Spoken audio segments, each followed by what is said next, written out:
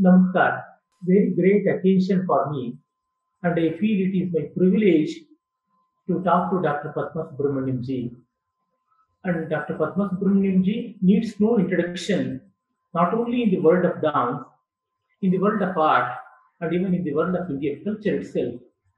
Her name has been entered into the annals of Indian aesthetics and art, and she stands in the line of Bharata, Anandavardhana, Abhinavutta, Kuntaka, Sharangadeva, and many more. In that sense, she has become both a performer and a scholar, a visionary and a great activist. Many roles have been put together, and here we see the embodiment of Indian culture, which is manifolded. In the Natya Shastra, at the very outset itself, it is said, Nata jnanam, nata chilpam, nasa vidya, nasa kala, naso yogo, natat karma, natyasmin yendadrishyate.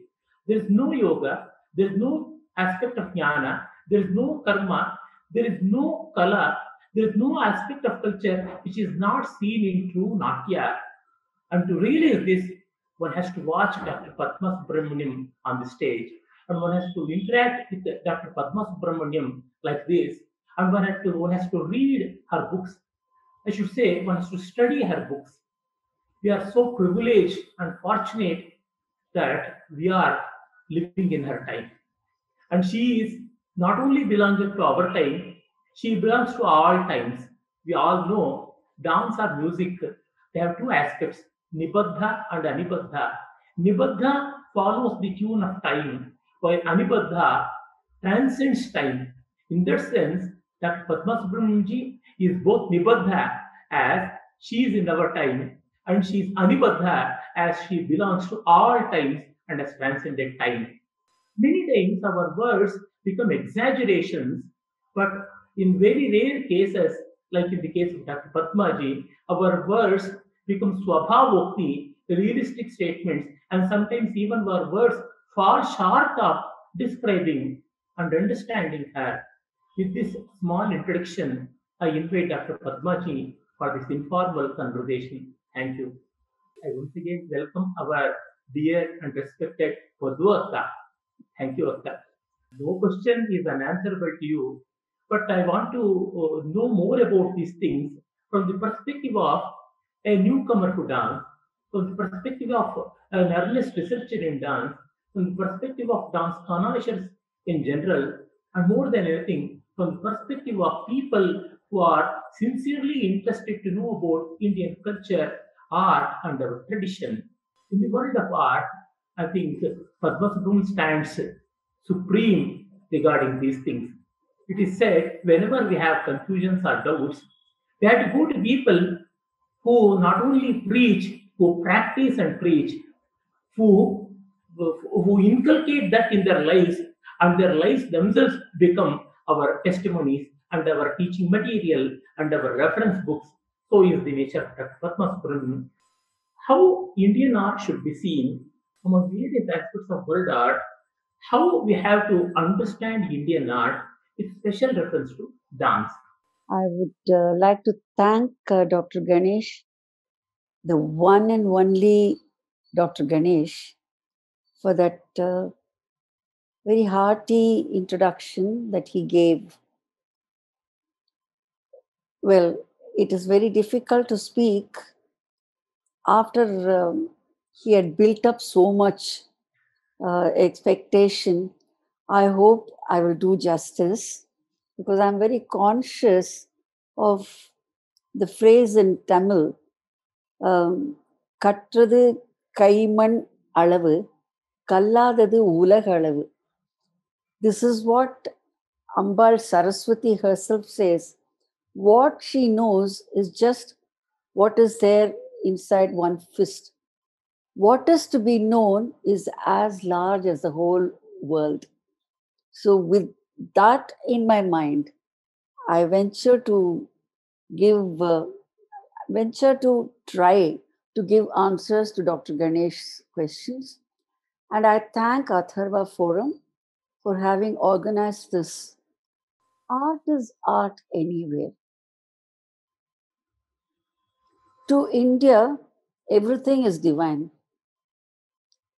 Let us understand one thing. I don't believe that uh, anything is secular about India. Everything is divine. Any creation is divine. The creator is divine. The created is divine. And uh, this is the attitude that art, rather, artists have and Rasikas have about any art in India. And uh, dance is one of those. I don't think dance can live in isolation. It is with music. They are twin sisters, music and dance. And one more uh, for triplet, you have the sculpture. So all these are amalgamated, and one needs the other. And that is how in India we have developed uh, a taste for art with the strength of codification that has happened in all these arts. And uh, it is also true that it, it's like a matrix, you know, it is all one woven into the other. When a dance sculpture is beautiful, you, you say, oh, the sculpture looks like a dancer coming alive. And when you say a good dancer performing according to uh, what is called talamana, proportion, and uh, also according to the rasa, bhava, and even angika, which is all part of dance, you say this dancer is very sculpturesque. So, this is the tie that you have. And above all that, it is all under the shade of faith. There is that religion which binds all these arts in India. Sahasranama, Vishnu Sahasranama says that all arts originated in Janardana. So, this is how we look at art, and dance is also part of that. Thank you. But one question usually many younger dancers and modern people they ask is uh, when it is all about religion, how to perform, how to present things which are secular in nature, which are non religious in nature, which should become universal, which are not restricted by any particular sect of Shaivam, Vaishnavam, Shaktam, something, something like that. This is the usual question which many senior dance teachers also come across, and many honest people are perplexed. And I think you can shed more light on this. As I said, everything is divine. There's nothing secular. I'll keep on saying this.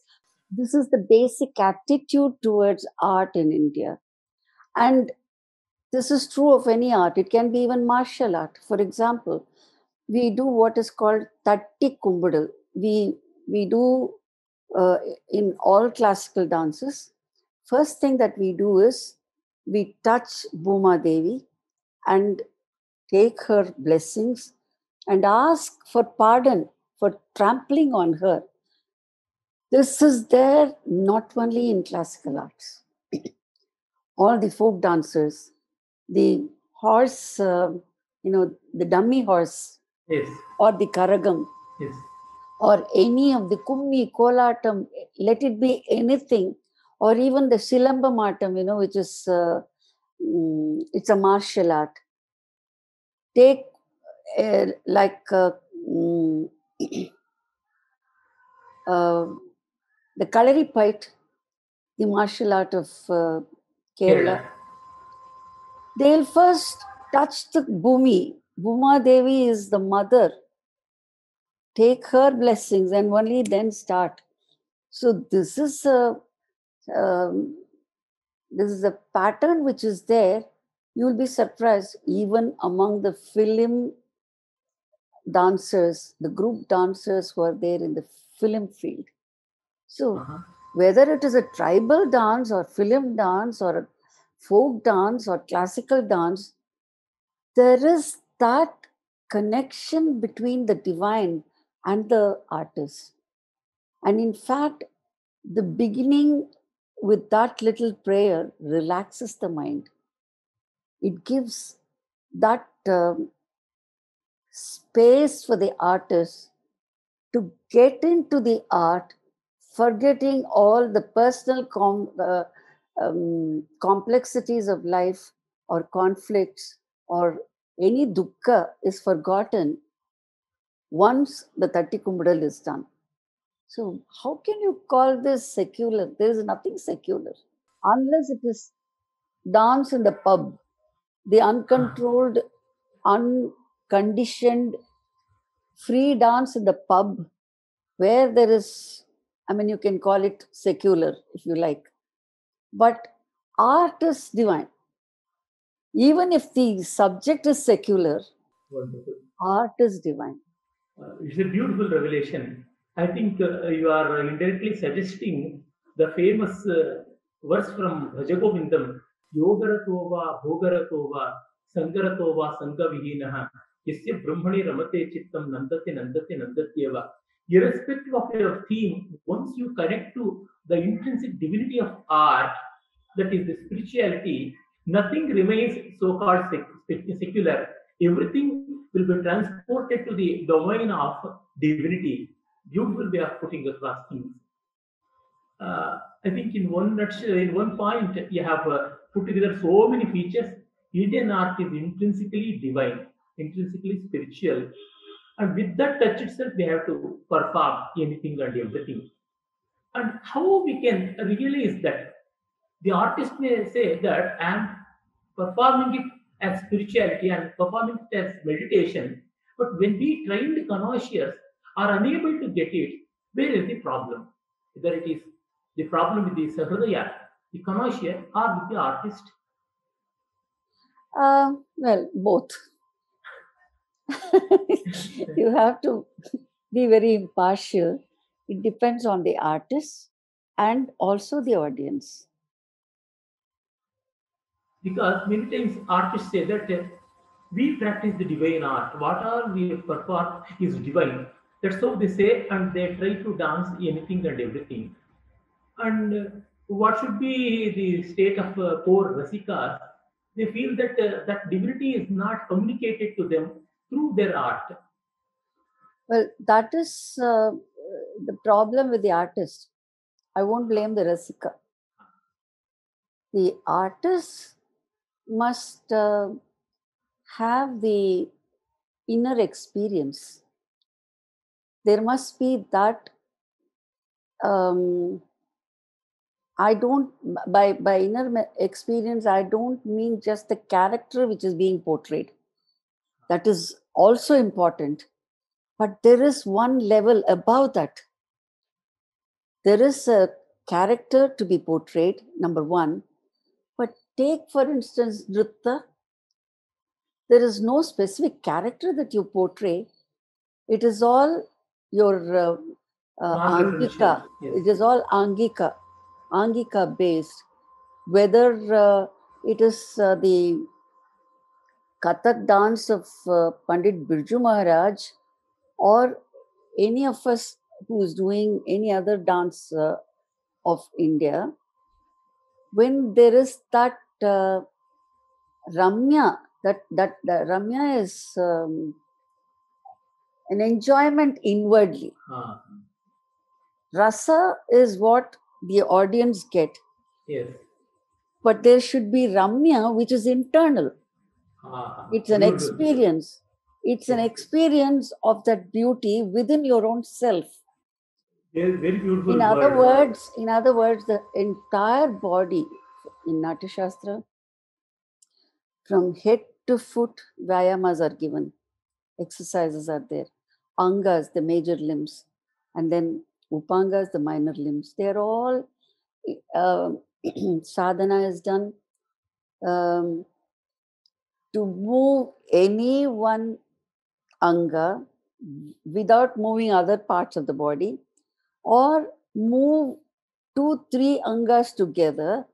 All that is skill based. Skill based And again, it is something which is achieved through constant practice. Sadhana has to be there.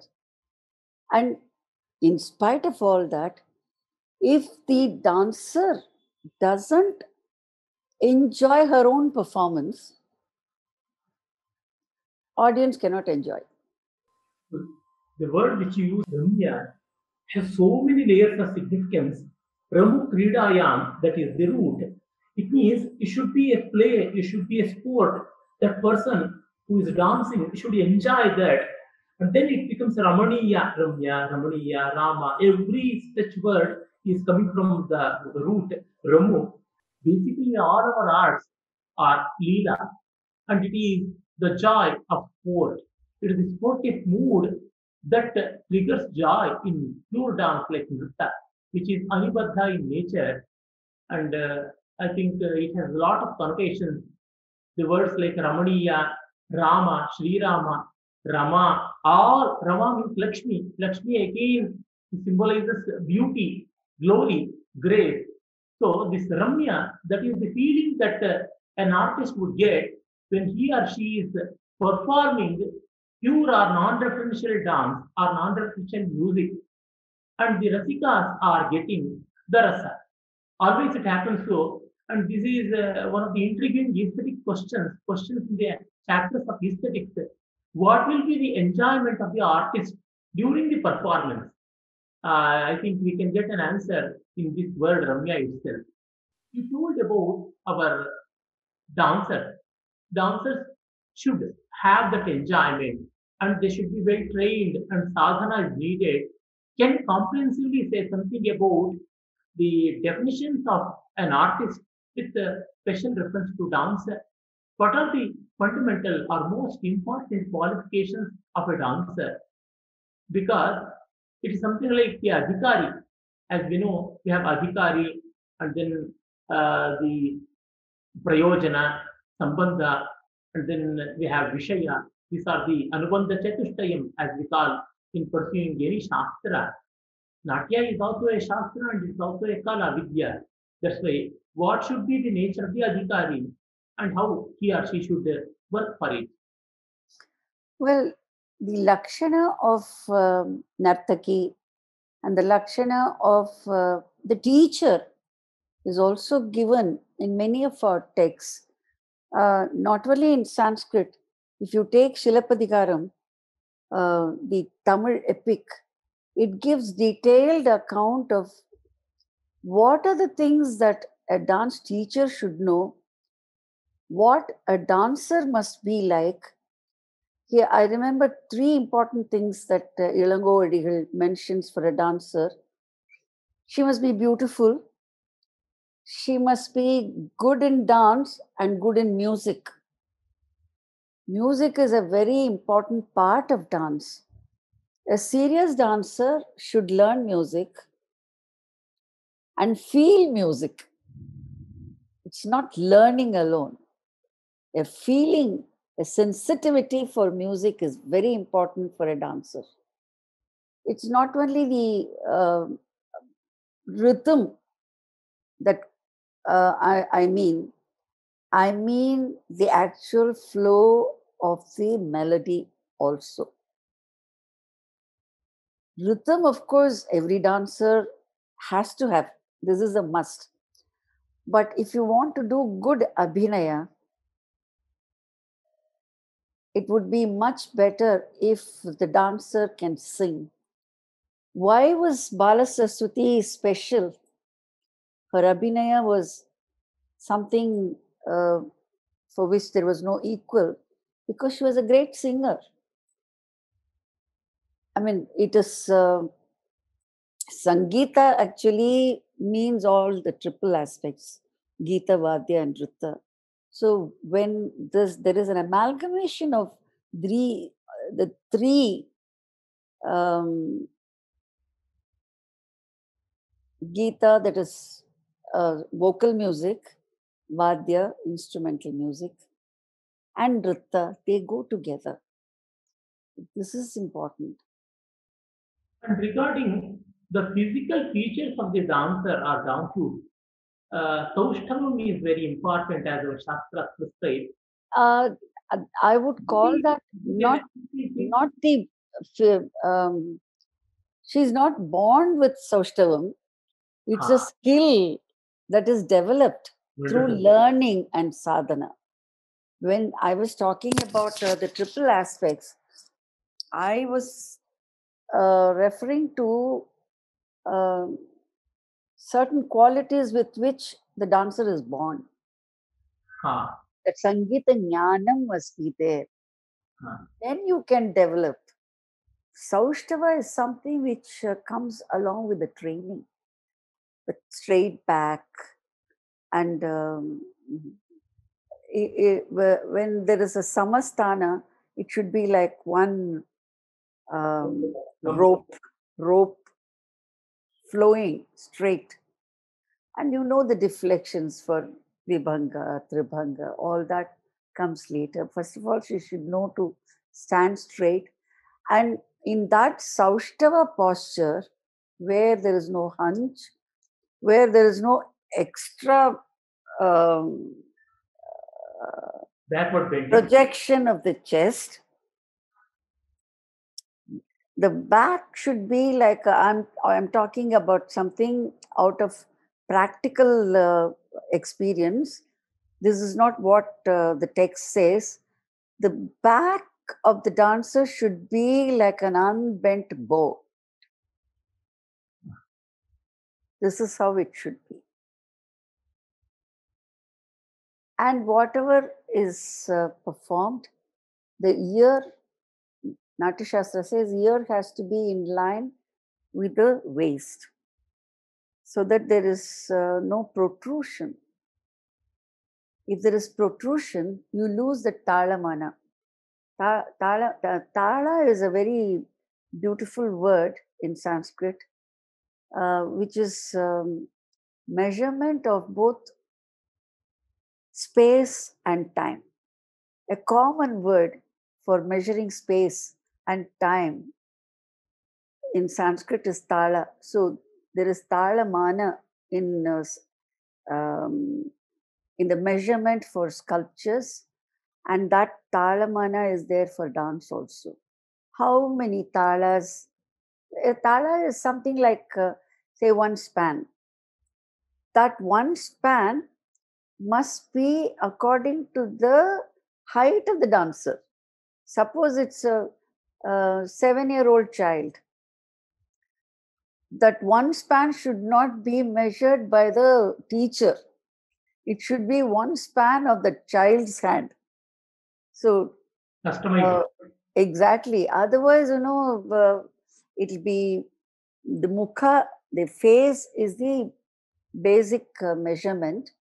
And you have in sculpture the Uttama Dashat, um, that, that is 10 talas for the height of the figure. And in the same way, we have in dance how much tala must be there, space must be there between the feet.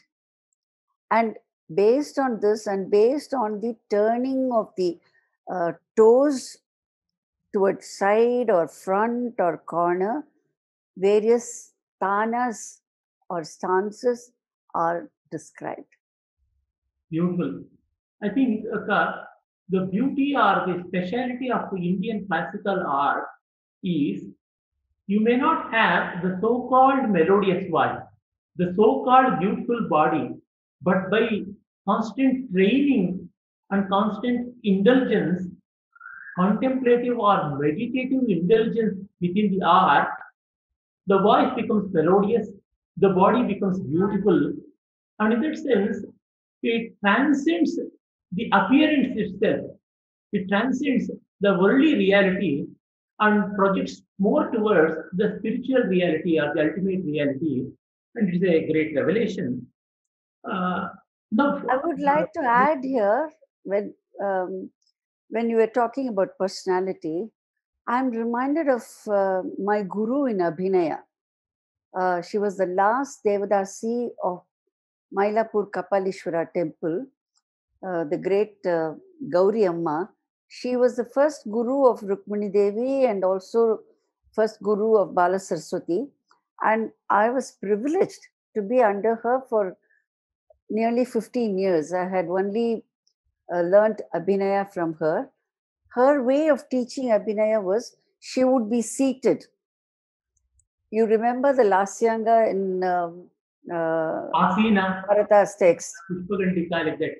Asina. singing and singing and doing abhinaya. That's what she would do. She would teach sitting, but she will sing in her own voice. And I'm not exaggerating. She was uh, in her um, late 80s, almost 90, with so much of wrinkles in her face. But if she took up, uh, when, when she took up a Mugda Naika uh, Padam, which portrays a 16 year old girl, you wouldn't believe her face will look like a 16 year old girl. That the you you would have uh, completely forgotten about the wrinkles on her face, her eyes, her eyebrows. It's amazing. And I remember once I was sitting and learning from her, and um, we were talking something else. And suddenly she, she looked, Ramanave. I turned. I thought she was calling somebody. The way in which she Simbukana. Ramanave Vani. Ah, She is looking at somebody, establishing the presence of someone there, and to that Saki, she says, Bring him. Before she started singing, when she looked at that corner, I was turning back. I thought she was looking at someone there who had come behind me. So, this is the kind of Abhinaya, and that was her, her excellence that uh, completely wiped away the wrinkles in her face. This is greatness of uh, the art. There is no age. If there is excellence, age is not a factor. My next question was that itself. How to adopt the dance style with age? Should we change our style with age? Or should we choose our items differently? How our presentation should change? Definitely, it should change according to the, uh, I would not say age, according to the um, stability and ability of the dancer. Sometimes, um, even uh, in uh, mid 20s, some dancers get uh, knee pain, back pain, all these happens. Then the the presentation has to be different. If uh, they are going to change, uh, how to compensate for the losses? No, it's question of uh, it can be more abhinaya based when she can't uh, do full mandi. Go I mean, when the knees are bent so much, almost close to the ground, she can avoid those movements. And there are hundreds of movements. You can choose what is possible instead of uh, trying something uh, very difficult and falling. Uh, it, it'll be better to choose some uh, easier movements and uh, definitely you know uh, an experienced artist can do it And one more thing connected with these, uh, not only with the, the age and body condition, not only with the physical condition, even with the audience also, even with the connoisseurs also, we have to change our theme. Uh, when that is the case, how Indian art can become universal? At one level, it is highly sophisticated and highly culture centric and highly connoisseur centric and Rasika centric. At the other other end, we have that approach. Our art should get proliferated. One and all should try to appreciate that. In that case, how to adopt this for people who are alien to this culture, who are quite new to this feature? Um, for learning, do you mean for learning or seeing? Uh, even present. Entirely performance oriented, I'm saying. Well, only exposure uh, to any art will make one realize its value. It's Because- uh, th- that cultivation has to be there and go uh, beyond mere uh, forms, go beyond mere um, mm, beauty of the costume and makeup. For this, you need constant exposure on the part of the audience and on the part of the uh, artist of course it is there any kind of uh, um, character has to be portrayed in natya if it is a dramatic uh, element that is important. We say in tamil nai vesham pota kolekano that means if you're going to be acting as a dog you have to bark. So after all natya is a anukarana imitation or anukirtana a glorification of the entire creation. And it, in it everything is there. There is uttama madhyama adhama. There is superior mediocre and the inferior type of characters. And all that has to be portrayed properly. This is where uh, you understand that what is presented might be even something um, secular. By secular, I mean not connected with religion, because uh, unfortunately, secular uh, has come to mean um, uh, almost, you know, anti-Hindu these days. Yeah. I don't mean that. By secular, I mean anything which is not connected with any religion. Yes, the original meaning of it is so it is that. I mean the original uh, mean Mhm. meaning of secular. Laukikam. uh, Secular is Laukikam. the theme can be secular. Huh. It can be a comedy of uh, a fight between a tribal and her wife, uh, and his wife rather. And uh, um, that secular presentation also ultimately is an art which is divine. Hmm. The art is divine. The subject may be secular. This is the know how that we get through the study of the art to present anything. It can be anything, it can be animate or inanimate object. You have uh, uh, you have just summed up the whole essence of uh, Rasa Siddhanta. Bhavas are terrestrial in nature, while Rasa is always ethereal. Bhavas are secular, while Rasa is essentially spiritual. That is what you mean. Wonderful. So I'm talking it from a practical point of view. But every aspect of your practice is triggered by the profound theory and vice versa. And the other thing I want to know is uh, uh, people think that many dancers usually they come to me and say, We are presenting in a foreign country, we are presenting in a Western or a European country, and there they cannot understand our mythology, so we need some other subject.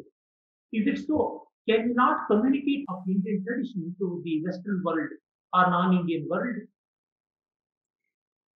Well, it depends on the taste of the artist and uh, the capacity of the artist. And uh, as far as I'm concerned, I have no complex. Wherever I go, I love to present something Indian.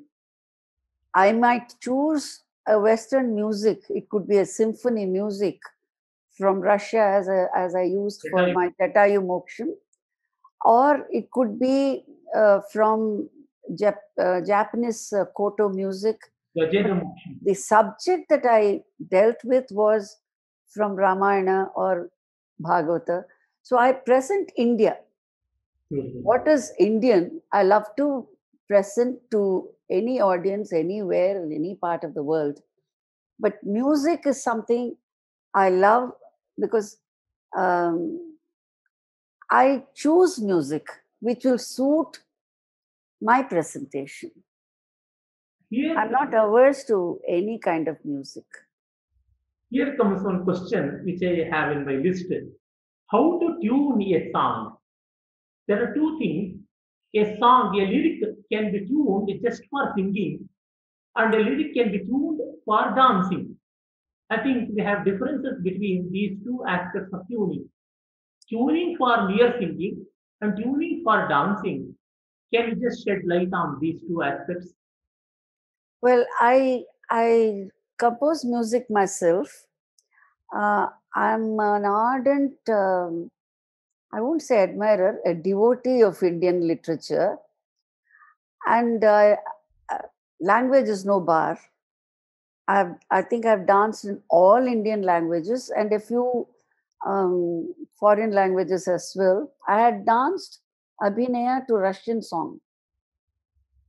Uh, and when I tune the lyrics, I take uh, the mood, the mood of the song, and uh, I also think of how I can do abhinaya to it. Suppose there is one phrase that needs a longer um, duration for portrayal, then I will I will use a slower tempo for that line. For the next pada of the same verse, I might take a Duritakala. Uh-huh. I take uh, um, liberties with the chandas Uh-huh. to suit the mood. Mhm. And uh, I also do another thing. Suppose, say, Periyar's verses. Hmm. Uh, most of these um, prabandhas have 10 verses. And uh, what I would do is take two lines from maybe first verse and two lines from fourth verse combined to suit the presentation of dance. This I have done in Krishnaya Tubhyam Namaha.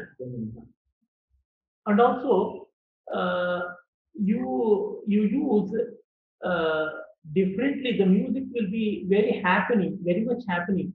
Uh, eh, the music itself will be something like moving that happens, and you take uh, that uh, that sort of inspiration from the lyric, or from the concept, or from the music, or from your own intuitive approach to all these things. all all of these because uh, um, many many times you know uh, in my my music composition you will see swarakshara Huh. the swara the note and the akshara of the lyrics will uh, synchronize uh, for example um, um, Shabari. Uh, in, a, in one shloka which I perform, showing the nine kinds of Bhakti. towards Rama that nine characters had. And uh, with regard to Shabari, Archayam Shabari. Uh, her way of showing uh, devotion to the Lord was offering flowers, arch- doing archana. For that name Shabari, uh, I had to do a little bit of Sanchari Bhava, bringing the um, Change of time. Story. Old age. Portraying her character. So, Archayam Shabari, Shabari. There you see the Swaraksharam. Shabari, Archa. So, I, I play on Sa and Pa. Shabari. Re, Rishabha also I take.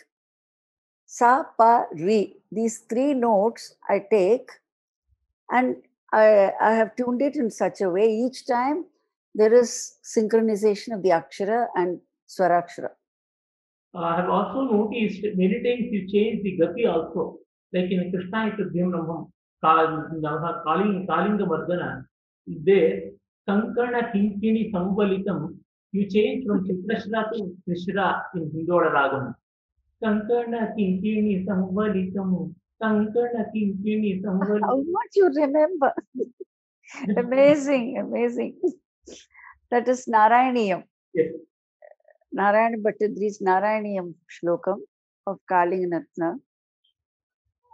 And then the same song, the same lyrics and the same tune, can it be used for group choreography? Do we need different music for group choreography? Yes, um, I have used uh, many songs uh, for solo, and what I choreograph for solo is completely different when I have more than one dancer. Ah, Um, but the same song is used, but the, the pattern, group pattern, changes the form of the presentation. And um, I used to do this on my own uh, intuitively. And later I found in Shilapadikaram a very interesting line when uh, talking about the qualification of a true dance teacher.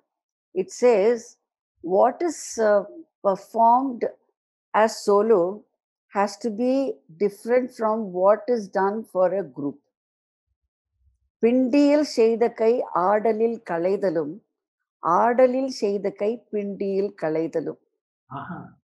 This is something which is two thousand years old I didn't read this before I started doing that way but many times it has happened uh, Ganeshji, that i would intuitively do something and get a sanction from shastra some years later.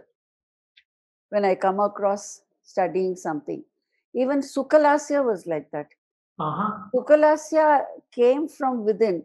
Even the ah. name Sukalasya I gave without reading. But then, yeah, yeah, much later after I had performed it, uh, at least about four, five years later, when I studied the Nritta Ratnavali, aha. I came across the word Sukalasa as one of the Lasyangas, which is total synchronization of music and movement. Aha. But it was amazing that I had used even the term Sukhalasya, not Lasa, but Lasya. Sukhalasa is the term given in the text. But what I had done was this I composed uh, this uh, piece in Todi Raga, and uh, uh, it's a complete uh, synchronization of every gamaka in the voice with a rechaka in the body. Yes. In your serial Bharatiyam Natyashastram, that bit is included. A piece, small pieces. Small bit.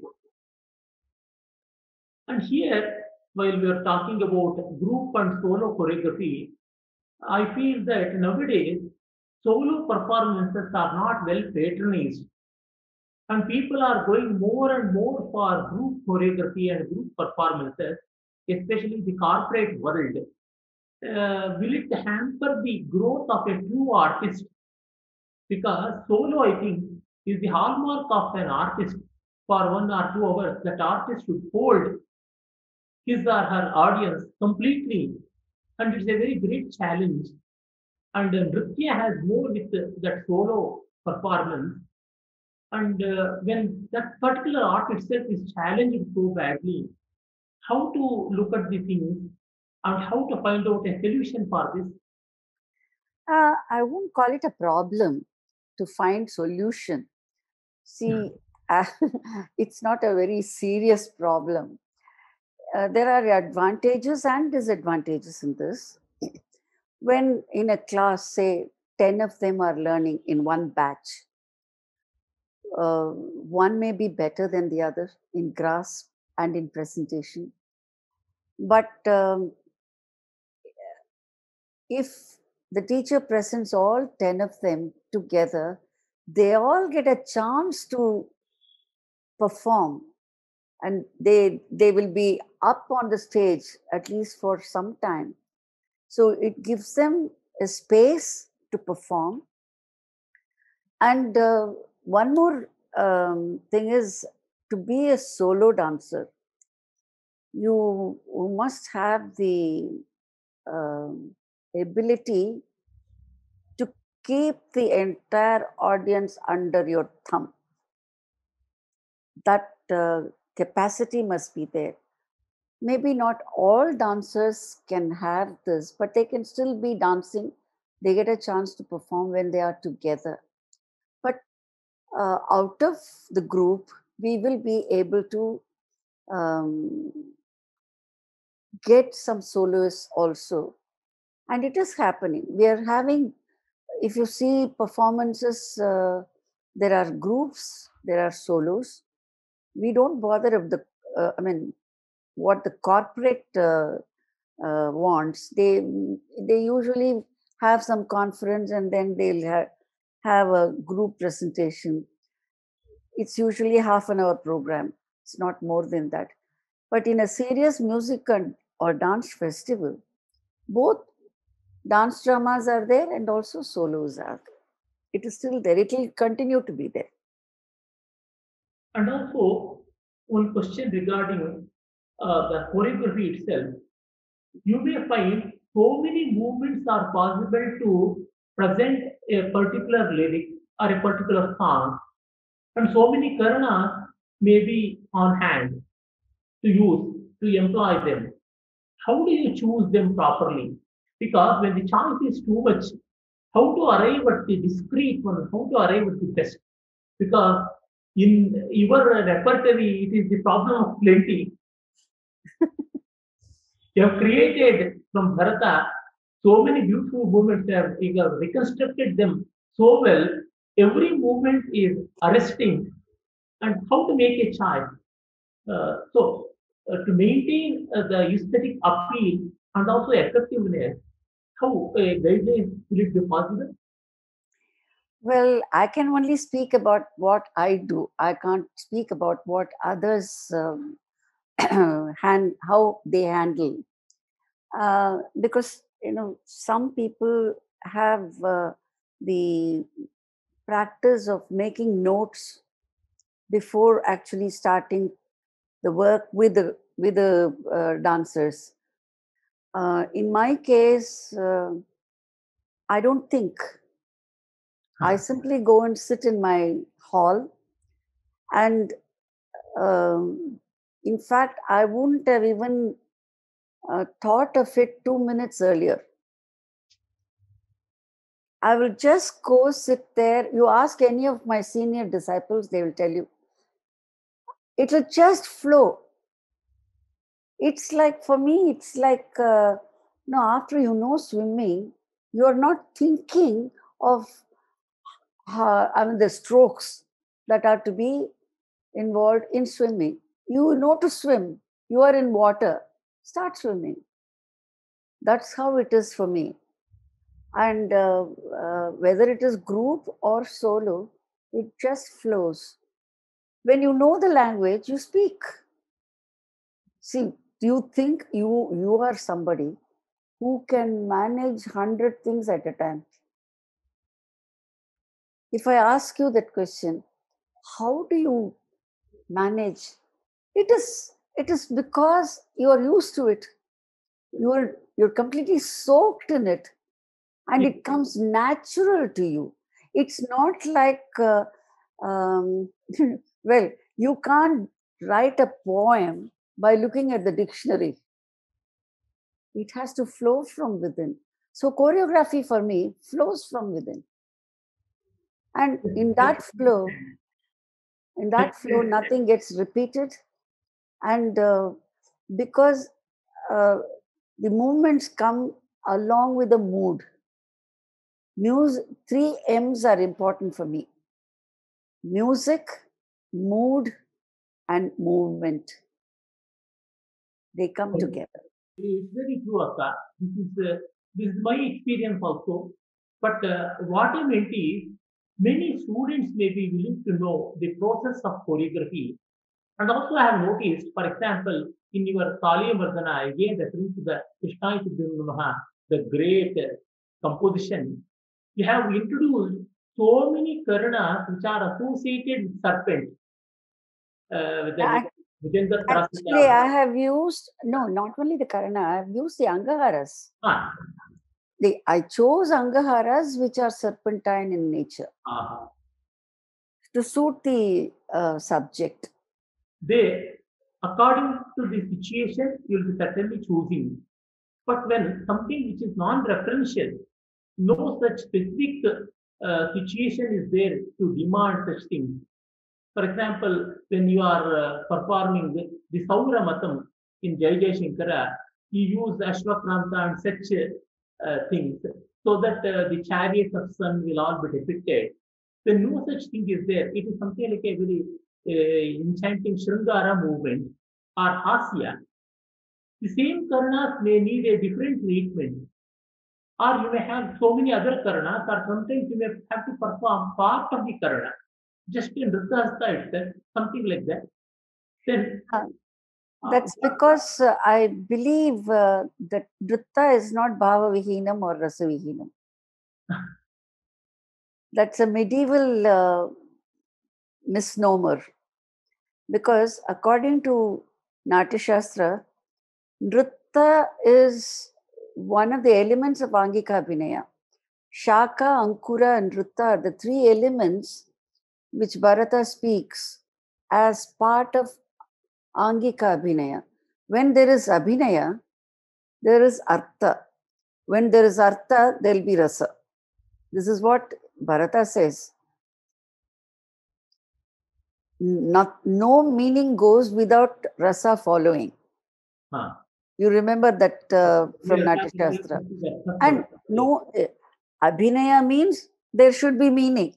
communication There must be something to communicate. to be con- uh, that content has to be there to be delivered only then it is called abhinaya and if angika abhinaya physical expression includes nritta how can you call it bhava vihinam or rasa vihinam? There's no logic in it. And i use my whole body. Nritta karanas are used for vakyartha abhinaya.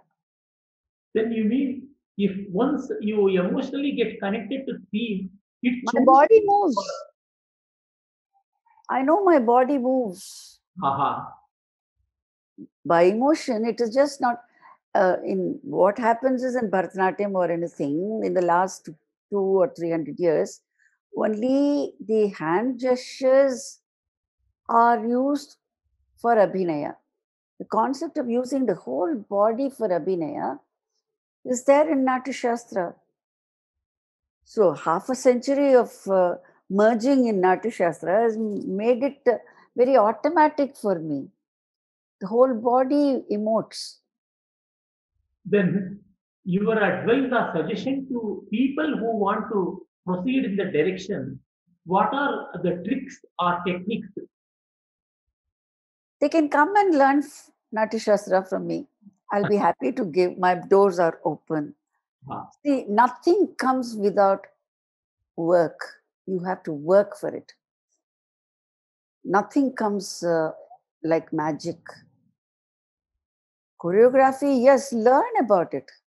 Do it. Now, everything is done by everybody. There is um, no one asks questions and no one bothers.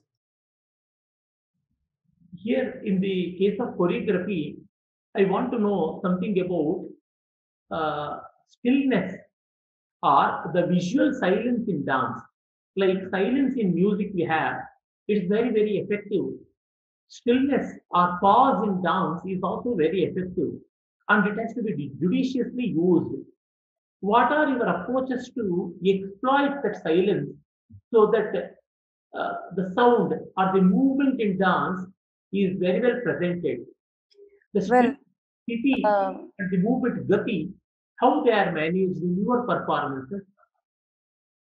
well, uh, uh, even in Vachika Abhinaya, sometimes silence is more expressive than words. There are certain occasions where you need that pause. And that pause gives time for the actor to feel the bhava and also the rasika to, to grasp the situation. And uh, silence can be very powerful, extremely powerful. I'll give you a very uh, easy example for uh, people uh, who are, who are more uh, acquainted with films.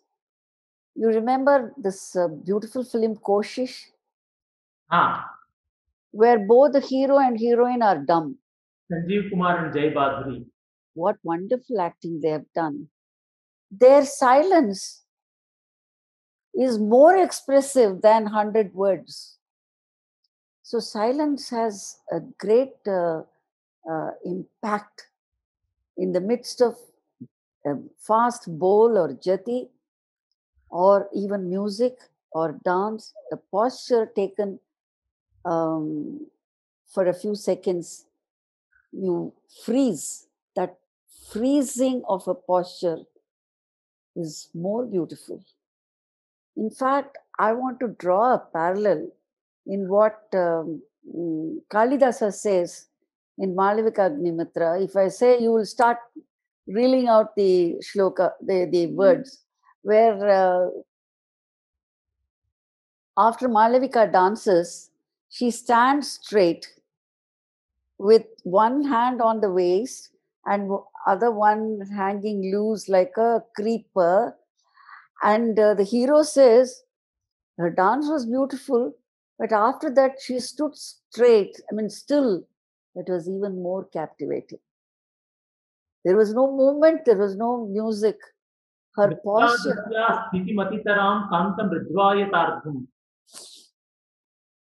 And it, in fact, it is that posture you see in Mohenjo-daro, uh, you know, dancing girl. It is that same posture in that broken dancer, Yeah. and it's uh, it's almost um, a development of that same posture you find in the uh, Chola bronze of Devi figure in South India. Yes. That uh, beauty of flow of lines is still there, but there is flow at the same time it is frozen. See the dichotomy of the whole concept. There is flow of the grace and still stillness is there in that pause and pose this is the beauty of presentation And to hold that silence on the stage, so much of uh, movement within the heart of the artist is needed, and uh, it is not an easy thing to perform. Uh, and then uh, you have chosen so many languages, lyrics from so many languages, starting from the Itihasas, Puranas, Mahakavyas, and in various regional languages. Uh, what criterion should be adopted for choosing the lyric? I know you can choose any lyric and give the intended expression, intended feel to it. But even then, you try to choose certain sort of certain type of lyrics. And what is the pointer towards which your choice for lyrics move on? uh, well um, number one is the content of the lyrics which gives scope for performance of abhinaya. There must be bhava in it. There must be even by reading the lyrics rasa must emanate and uh, chandas is important. I don't understand when people call it pudu kavide, uh, where uh, the new poetry, uh, modern poetry, which has no meter. If there is no meter, it is prose. Yes. I don't I don't understand why it should be called kavide because you have gadya and padya. Sometimes you can have gadya padyam. It can be poetic prose, Champu. but you can't call it poetry. So in uh, in the pudu kavide, you can't tune it because there is no tala in it. There is no meter in it. Uh, that doesn't suit my dance. Or uh, I can even I have even composed music for Tirukural because there is a definite uh, chandas. Yes. You have four lines and then uh, sorry, four words and then three words and a pause. Two lines. So that is that was not that difficult for me to tune because I did a whole evening of Tirukural performance with original lyrics. But if you give me modern poetry and ask me to dance, I may not be able to. I'm I'm not capable of handling it. I don't want to belittle modern poetry. All that I want to say, I have no capacity to handle modern poetry. But I think musicians are capable of tuning uh, even the prose passages to tala. Then that Yeah. is possible. Well, I have done it. You gave me uh, uh, Vachana of Akka Mahadevi, and I tuned it.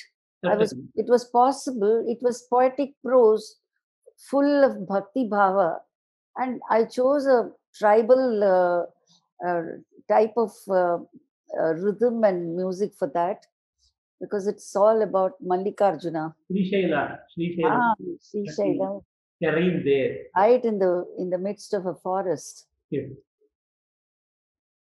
And then one more question uh, regarding the music and uh, lyric is uh, which sorts of raga, which types of raga are suitable to the theme?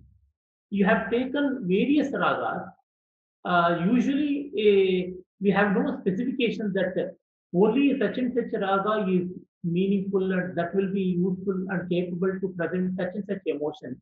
There are a band, there is a band of uh, emotion, there is a band of raga also. In that case, how to arrive at the specificity of raga to particular mood and lyric? Well, um, as I said, uh, music, movement, and mood go together. And uh, I don't sit and break my brain uh, to think of which ragam I must use for which lyrics. It just flows. It comes from within. It's not coming from the brain, it comes from my heart.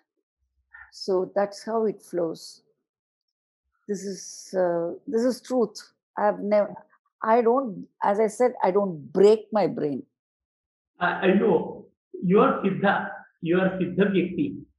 Uh, it's not the case with all people. There are lesser fortunate mortals are there. For them, uh, the way should be provided. I know uh, I can extract a way from your acts. Certainly, it is possible. But In uh, fact, in fact, uh, for creativity, please don't have codes. Leave it to them. Creativity should not be written down. When it is written down, when you codify creativity, it loses its creative value. Let them be creative. Why should I teach them how to choreograph?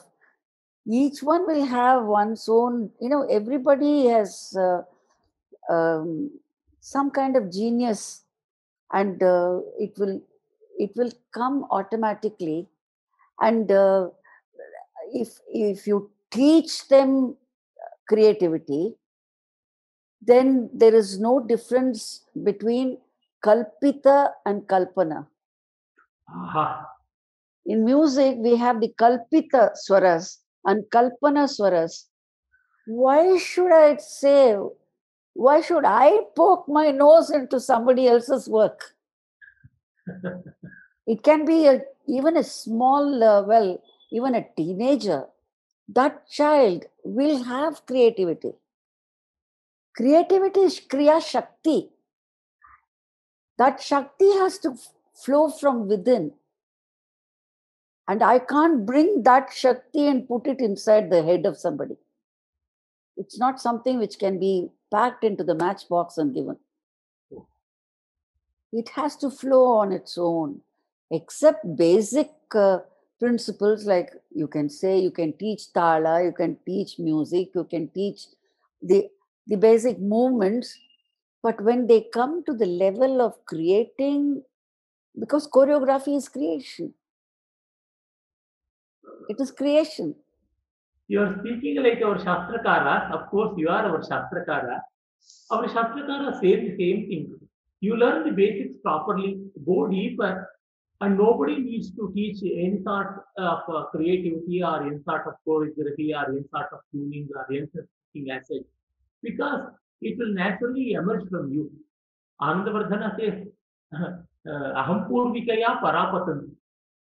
To a well equipped artist, all these features they come on their own accord they come in competitive spirit and then my other question is connected with the, people from whom you got inspired because we do need certain role models in our fields. If not we go astray. We need living examples. You have achieved so much. You yourself stand as a great living model. But uh, for you, who were the living models for inspiration? Uh, well, I won't call models, but I have uh, learned from many people. Ah, I, I, I, there's a difference between the two. I, I have my masters, my um, Bharatanatyam uh, guru was uh, Vazhuvoor Ramaiah Pillai. Uh, I had learned a little bit uh, from um, Kamini Kumar Sinha, who used to be dancing in Shantiniketan when Tagore was alive. He was brought to Chennai by my father, and uh, he had uh, taught us Tagore's Shama, dance Rama Shama, and I danced as Shama. Uh, my father wanted Shama to be translated in Tamil. Uh, the lyrics were tam- translated, uh, but uh, we kept the music and the Shantiniketan style of dance. So, um, Master Ji, uh, Kamini Kumar Sinha, wo- I would call him uh, somebody who really showed me what choreography is. I was still a teenager at that time. And then, of course, Gauri for Abhinaya. I had learnt uh, so many, I can't even number them, so many padams. Uh, I may not like to do some of those uh, padams of Pacha Shringaram, you know, it's, it's in the form of even a prostitute singing. I'm, it's not my cup of tea, but I've learnt, I've learnt all that. You know, in Tamil they say, Kalavum Katru Mara. You understand that? How do I, how do I translate that? Learn even to um, rob. Soul. must learn to rob, but then forget. Even robbing is an art. Theft is an art. Learn, but forget. So I've picked up from so many sources and many folk artists, many folk artists from all over India. And they have all been, uh, uh, you know, I've been exposed to all these people thanks to my father. He was a very, very large hearted um, person who could think beyond. And for him, the entire uh,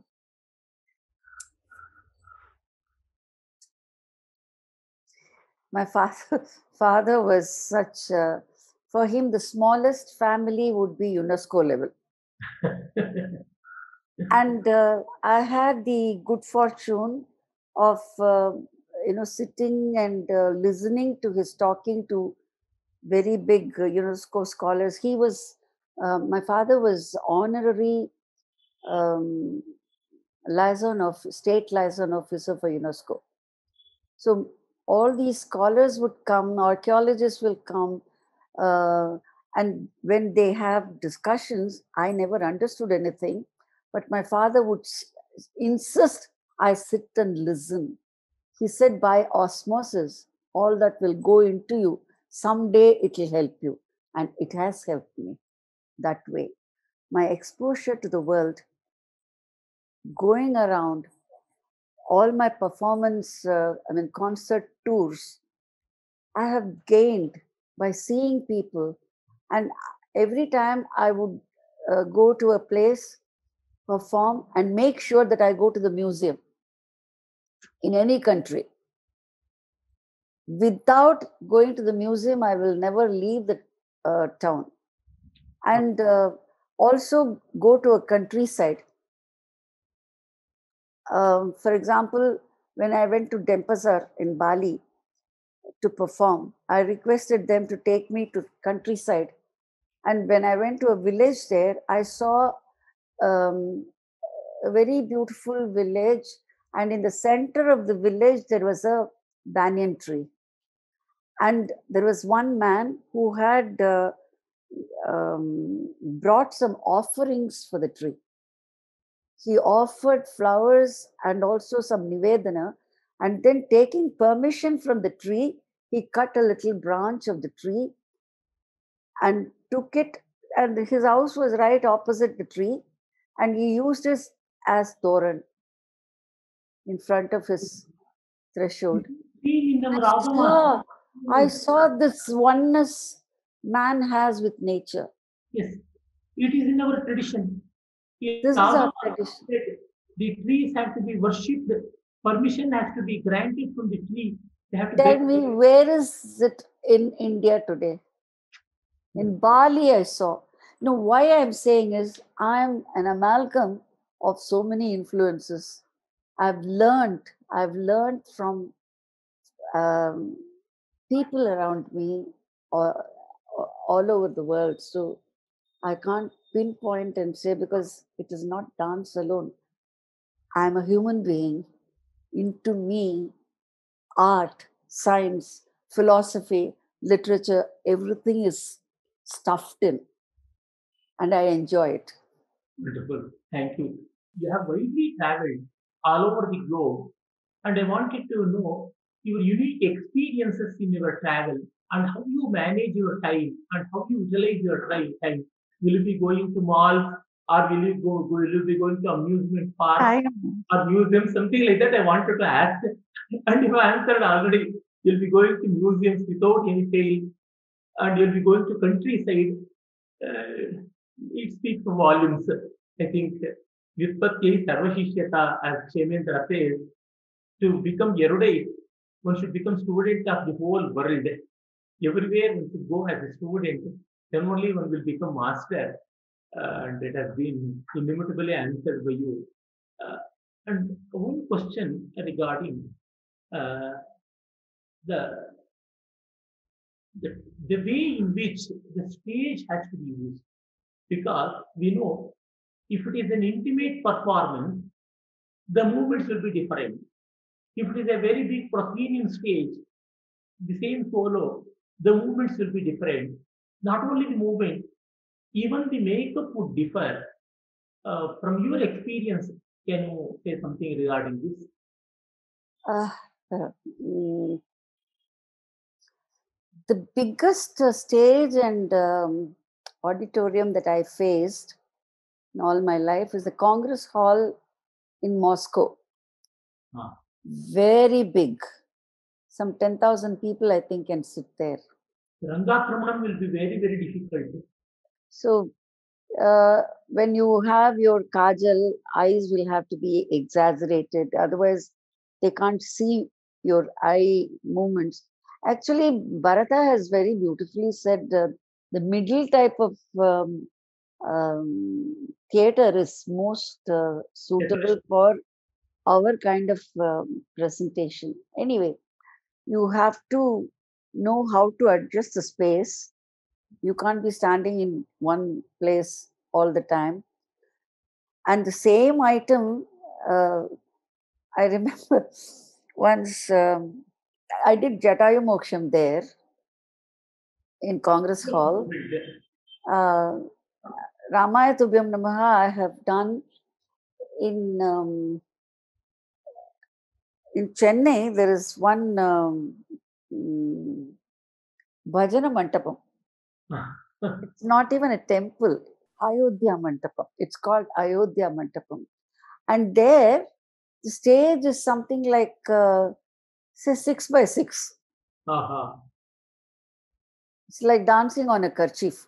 So, there, and in that place, can you believe I did Ramaya Tubhyam Namaha?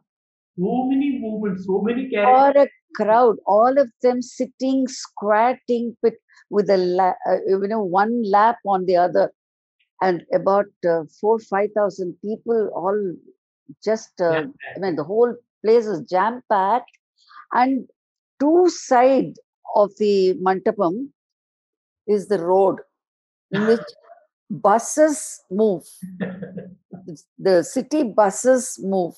And as I was dancing, I remember the bus driver will stop in front of the stage and people want to see from the bus and then the there'll be traffic police then the bus will move in such a place suddenly there was no current. And that audience i cannot uh, disappoint. I said uh, uh, mic was uh, working. So i took the mic and said i request the organizers to bring some Petromax light. You know that gas light. Yes.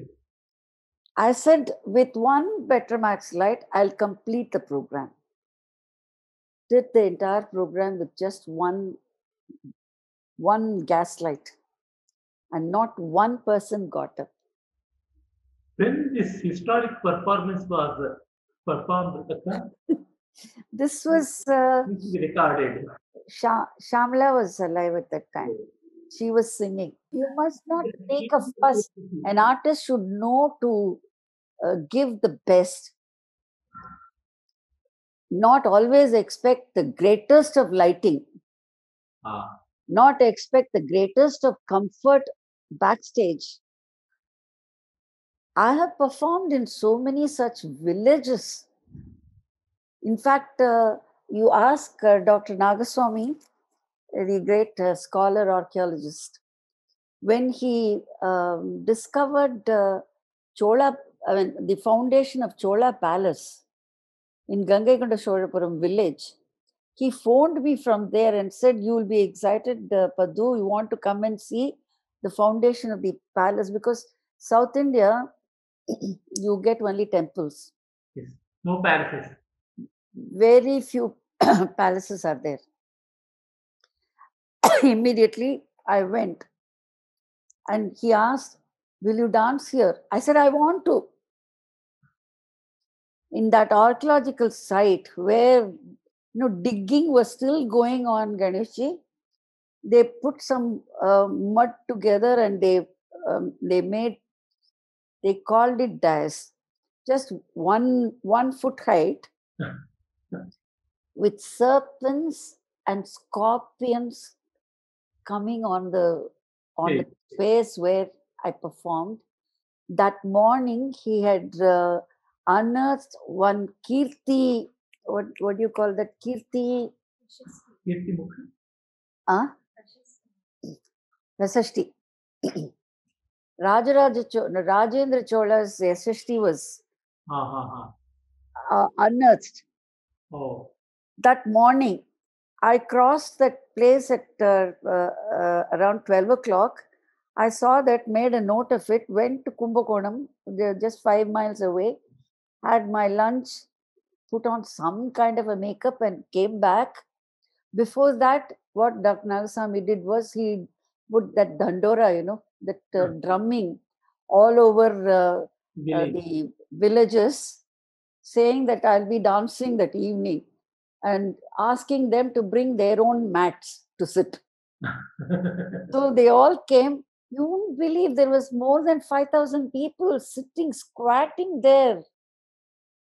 And I danced when scorpions were also dancing with me. And I, I danced that same lyric, I mean, uh, poem that was unearthed. That's why in such situations, then and there you may have to change the choreography. And your musician should be cooperative. They must be. How it happens? Ask Gayatri, she's here. Gayatri, because Gayatri took over from her mother in law Shamla and my Mirdangis and Kannan on the Veena. They all know me. They know me so much. They know by looking at my face, they will know, they will follow.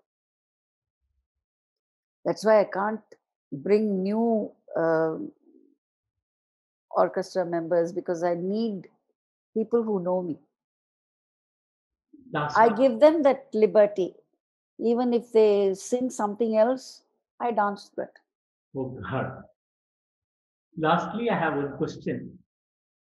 You have unearthed Bharata and revealed the Karanas, and you have done so many such things, but uh, you are not at all hesitant to offer it to the world uh, without even uh, waiting for uh, anyone to come and uh, anyone to come and approach you. You generously offered in many ways. Uh, usually, people feel that if the things go to wrong people, they'll all be misused. You too know this, but for the propagation of art, we can't help. We have to be generous enough to give it away to one and all. At the same time, uh, unworthy people misusing and even misrepresenting the art will also happen. This is a constant dilemma that uh, works within the heart of a honest artist. What is your suggestion to such people who are perplexed by these uh, undesirable developments? Well, it's very difficult to answer that because, you know, there is, uh, it's not like those days when um, each Nattuvanar, each guru could keep uh, the secrets of uh, the skill and uh, the family tradition uh, not coming out of uh, the village in in Tamil Nadu or the gar in, uh, in. Gharanas. It's not like that today. You understand? It's knowledge explosion, whether one likes it or not. There is television, there is Sabha, there is everybody can see everything. It it is freely available, and uh, the YouTube is there. And even 35 years ago, uh, I I said in Natya Kala conference that there will be a day when uh, the shloka Guru Brahma has to be changed. Guru Brahma, Guru Vishnu, Guru Video Namo Namaha. That's what has happened now. They pick it up from the videos, from the uh, YouTubes. And uh, this is not something which can be learned by looking at the video. It can't be perfect, but you can't stop them from learning and performing in their own way. You can't stop. And as far as I'm concerned, I always compare myself with the Pauranika. I'm not Valmiki. I'm not the author of Ramayana. I'm like the Pau- Pauranika who narrates the story of Ramayana. And in my case, I have taken the treasure from Bharatamuni and the sculptures, and I have given this to the world. I have made it free for all.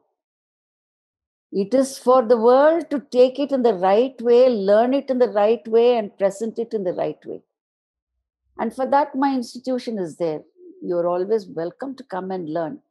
But sometimes, you know, it hurts uh, when they do my movement in a wrong way. It's a bit crooked. Uh, but I can't go and say, oh, lo, look what you did was not good. That's like not like me. I never uh, give any criticism or advice unless asked for. Why should I waste my time? Ask, I mean, uh, if I'm asked, if I'm to teach, I'll teach them correctly. But if they are going to be pirating my work, I can't do anything about it. No amount of copyright can save anyone from piracy. This is the fact of today, whether it's your book or my dance, anything. So it's not something which can be managed. But I can tell you one thing audience are not fools. Like how water finds level, audience find their artists. Thank you, Akka. Thanks a lot uh, to our learned connoisseurs who are watching this. I should say, Dr. Padmasabramji has built a temple and even building a great institution in the name of Bharata, a great institution, library, auditorium, everything is under progress. She is tirelessly working day and night this juncture also for the betterment of that great institution. In spite of all that, she herself is a mighty temple of Bharata. I always say, like uh, the great Jagannatha at Puri, the God's image is not consecrated in a fixed manner. The same image will be taken on the chariot and the great Jagannath Rath Yatra happens. Padmasabramji is like that Charanti Pratima, Daru Brahma. She is a Nritya Brahma and she herself is the most befitting temple of Bharata. And we are very fortunate and grateful and blessed by her presence. And she has given her valuable time for this short, informal interaction. Thank you. Thanks a lot. Uh, well, uh, that uh, it's Bharata memorial and not a temple in the in the sense of uh, not not we don't have worship like other temples, but there is worship through dance. Dancers come and dance in front of uh, my Bharata there, and there is a museum of Asian performing arts. A new set of 108 Karanas are there and uh, it's actually a um, replica of uh, the Karana sculptures that I designed for Uttara Chidambaram Nataraja Mandir in Satara. And uh, I I've made it double that size, but kept the designs because oh, all those designs were seen by uh, His Holiness Kanchi Mahaswami and approved. And uh, you know about the miracle that happened. He asked me to go to Indonesia when I was uh, designing the Karana sculptures for uh, Satara. I couldn't go till the entire uh, consecration was over. It took about 12 years to complete the sculptures. It all, it's all in granite. But then when I went to Indonesia, I discovered uh, 52 Karana sculptures in central Java um, belonging to the Prambanan temple of 9th century. And the amazing miracle is that those sculptures of 9th century tallied with my reconstruction and also my designs for uh, Satara and Maharashtra. So the same um, sculpture designs are used, but double the size we have at the Bharata Museum of Asian Performing Arts. And um, we also have on the other side artifacts relating to dance from many parts of Asia. And another very important um, uh, content of the museum is 100 years of Indian classical dance, where we have um, even photographs of uh, Devadasis of um, uh, 19th century. And thanks to um, Saroja Khokar, the veteran dancer, uh, her husband had collected uh, these and she has donated part of that exhibition to our uh, museum. All of you are welcome to come and see this. And the Bharata Shrine, if I could call it shrine, Bharata Shrine was inaugurated by Guru Kalyan Sundaram Pillai of Mumbai.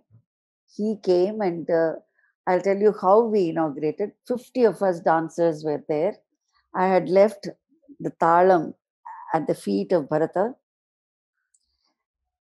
Kalyan Sundaramji took the talam and started re- using it, reciting the Ganesh Kautvam. And for that, all of us did the first first step, Teiya Tei. 50 of us danced in front of Bharata. This is how we inaugurated. All of you are welcome. Please come and see the museum and my Bharata Muni. Uh, now there is a replica of this Bharata Muni at the entrance of uh, IGNC Delhi. I requested uh, you to make the Dhyana Shloka, write the Dhyana Shloka for it. We have kept it there. I thank Atharva Forum for uh, the wonderful time I had talking to uh, the one and only Shatavadhani Ganeshji. Uh, he, his brain has to be insured. Your brain has to be insured. You are a phenomenon. And to be interviewed by you is an honor. And I Thank uh, Atharva for this wonderful time. It was not even an interview, it was a discussion. Thank you. Thank you so much.